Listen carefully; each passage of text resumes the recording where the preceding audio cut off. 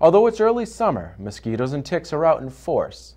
Health agencies are on the lookout for possible disease outbreaks brought by the bugs, most notably Triple E, West Nile virus, and Lyme disease. The Attleboro Health Department is taking precautions to prevent possible outbreaks in the area. We spoke with Attleboro Health Agent Alan Perry about what citizens can do to protect themselves. Well, it's summertime in New England again, and um, particularly in southeastern Massachusetts, it's that time of the year where we're concerned about mosquito-borne illnesses, or arboviruses is what they're called, particularly West Nile virus and uh, Triple E. Um, I think it's uh, about this time that the State Department of Public Health begins uh, its tracking and uh, catching and uh, monitoring of the virus in mosquitoes. And that's a good time for us to consider uh, how uh, we would prepare for this. And the old adage of protecting yourself, personal protection is always a good one. The two arboviruses that are of most concerned to us, amongst others, is the West Nile virus and the Eastern equine encephalitis. Most people know that as Triple E. Of the two viruses, Triple E, although more unlikely uh, for someone to um, get, it's the virus that uh, is of greatest concern. West Nile virus is pretty much endemic now, not only here but across the United States. Uh, West Nile virus, uh, many people, healthy people, uh, might not even know that they have the virus. Uh, some people chalk it up to a summertime cold. Most people who are healthy will get the virus and recover. People who are immunocompromised, old, elderly, and the very young are more at risk for developing severe complications from West Nile virus. Triple E is definitely the more serious of the two, even though it is a rare event. Um, people come down with meningitis-like symptoms, so it could be fever, they might have a stiff neck, they might um, complain of a lot of pain, headache, and what happens really quickly is it affects their neurological system. So if people are diagnosed with it, usually the outcomes are not very good, unfortunately, which is why it's so concerning. It has a higher, much higher rate of death than what uh, West Nile does, and again, people who contract Triple E most times have long-term neurological problems. Personal protection, again, is, is key.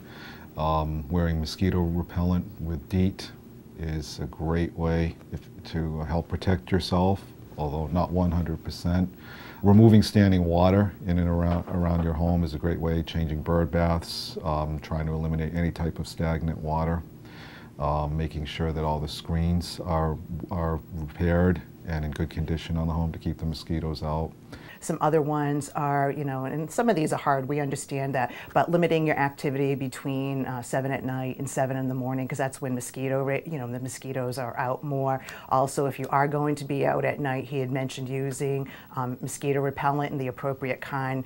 Generally 30% DEET is what's recommended, and there are also other effective ones. Um, lemon of eucalyptus is also found to be um, a very effective ointment that people can use to protect themselves. So we, we're talking about mosquito-borne illness. So the other thing that we really need to talk about too in the summer is tick-borne illness because um, tick-borne illnesses are actually on the rise. Even I'm responsible for communicable disease follow-up, and one of those that is reportable to the Department of Public Health in Massachusetts is Lyme disease. And I've seen our numbers go, you know, climb over the years.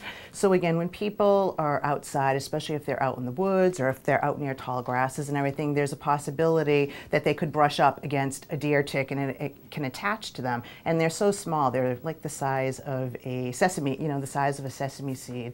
So some of the protection measures are people can use tick repellents. Um, they can, uh, the other thing that's also advisable, again, wearing long sleeves and long pants. But again, when you're having humid, hot weather, it's hard to it's hard to do that. But one of the most effective things that people can do is um, when they're after they've been outside, come in and check themselves. And ticks will hide in the most unlikely of spots, creases in the skins. So it's really important to check yourself, your children, and even your animals from head to toe. Um, there are some devices that they make that are very um, help take the ticks that help take the ticks off.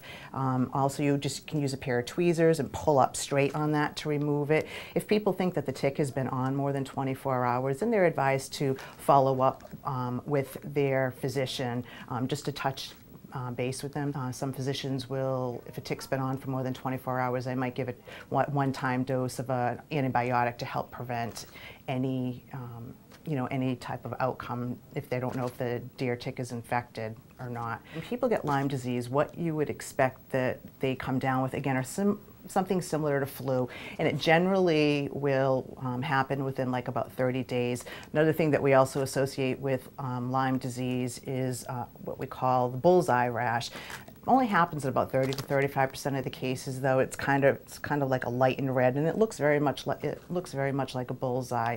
Um, in my nursing career, I've seen people that have just had that, and I've had seen people who've had that bullseye rash like all over their chest or all over their uh, back, which is a little, you know, which is worse. It looks like somebody put targets on their, you know, on their whole body. The other thing that's important about Lyme disease, um, catching it early, is that it can go on. People can go on to develop chronic. Um, it can affect the heart. It can uh, uh affect other parts of the body to go on to cause long-term complications.